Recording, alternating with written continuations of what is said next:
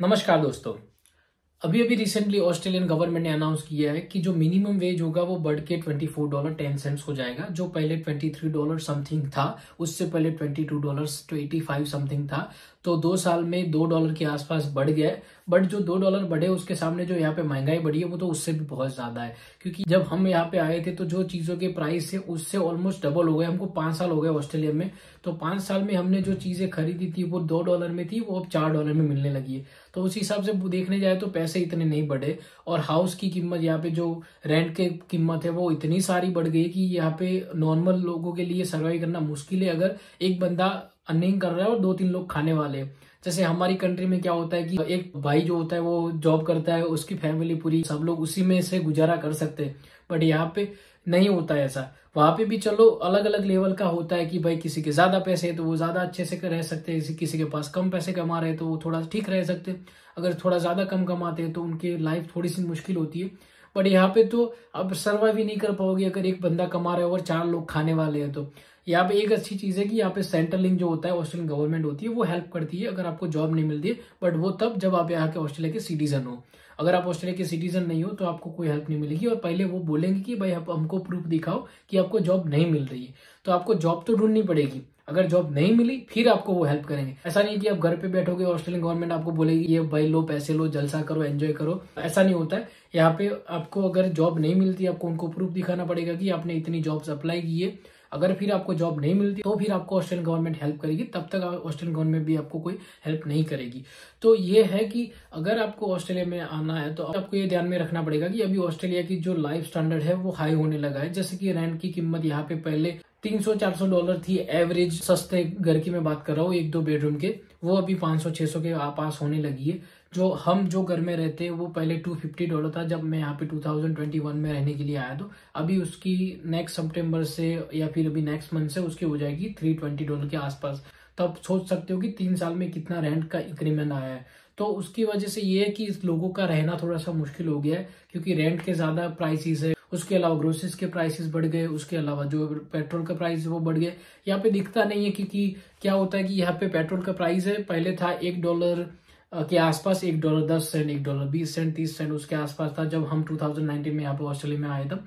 अब वो हो गया है दो डॉलर के आसपास, कभी 190 होता है, कभी 195 कभी दो डॉलर दो डॉलर दस सेंट ऐसा कुछ होता है। बट जो एक डॉलर का 90 सेंट्स का डिफरेंट आया, उसकी वजह से जब आप पूरा टैंक की फुल करोगे, तब आपको पता चलेगा कि मैंने इतने सारे पैसे एक्स्ट्रा पे कर दिए पेट्रोल के जो प्राइस है उसमें। तो यहाँ पे रेंट क्राइसिस बहुत ज़्यादा है ग्रोसरी के प्राइसेस बहुत बढ़ने लगे हैं। बहुत सारे लोग, जो अभी गवर्नमेंट भी होती है जो अपोजिशन गवर्नमेंट होती है, वो भी इनके अगेंस्ट है। वो जी, यहाँ पे दो तीन बड़े सुपर मार्केट है, जैसे वहाँ पे हमारे रिलायंस है डी मार्ट है। उसके जैसे यहाँ पे जो बड़े सुपर मार्केट है तो उनका भी यहाँ पे लोग अपोज करते हैं कि भाई वो लोग प्राइस बढ़ाते ही जा रहे हैं। बट क्या करें, यहाँ पे छोटी दुकान वाले इतने सारे नहीं है। जो मेन है वो ये दो तीन ग्रोसरी स्टोर वाले ही है, जिनके यहाँ से सब ग्रोसरी लाते हैं।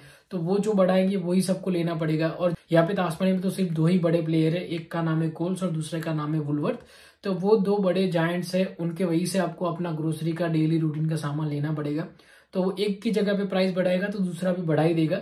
तो आप ऐसा तो सोच नहीं सकते, इसकी जगह पे मैं उसके वहाँ पे चले जाऊँ। अगर चार पाँच होते हैं तो ऐसा हो सकता है कि वो थोड़ा सा कॉम्पिटिशन में कम रखे। बट दो लोग हैं, दो लोग म्यूचुअल अंडरस्टैंडिंग से दोनों तो बढ़ाते रहते तो उसकी वजह से हमारा जीना मुश्किल हो गया है। बट अच्छी खबर ये है कि ऑस्ट्रेलियन गवर्नमेंट ने जो पहले पैसे बढ़ाते थे उससे थोड़ा ज़्यादा बढ़ाया है पिछले दो सालों में। तो आपका जो मिनिमम पे होगा वो ट्वेंटी फोर डॉलर दस सेंट होगा। बट आप ये ध्यान में रखना कि यहाँ पे ऐसा ऑस्ट्रेलिया में नहीं होता है कि जो मिनिमम पे है, वही आपको मिलता है। मिनिमम पे तो बहुत कम कंपनियाँ होती है जहाँ पे होता है। नॉर्मली सब जगह पे पे पच्चीस डॉलर तीस डॉलर पैंतीस डॉलर अलग अलग ऑक्यूपेशन के हिसाब से अलग अलग पे होता है। बट अगर आप कैजुअल में जॉब कहीं पे ढूंढना चाह रहे हो तो उसका पे ट्वेंटी नाइन थर्टी डॉलर के आसपास होता है। अगर परमानेंट जॉब आपको मिल रही है तो उसका पे ट्वेंटी फाइव डॉलर के आसपास होता है। परमानेंट जॉब्स और कैजुअल जॉब का हमने एक ऑलरेडी वीडियो बनाया वो जाके आप देख सकते हो। उसकी लिंक मैं आपको डिस्क्रिप्शन में दे दूँगा। बट बेसिकली ये है कि पे जो जो बढ़ा है ट्वेंटी फोर डॉलर दस सेट हुआ है, वो इतने सारे लोगों को अफेक्ट नहीं करेगा, क्योंकि उनका पे तो ज़्यादा होता ही है।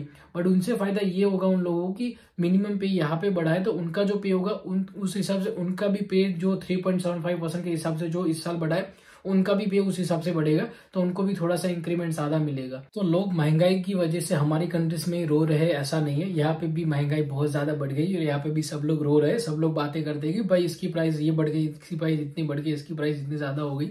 तो महँगाई तो यहाँ पे भी आ गई है।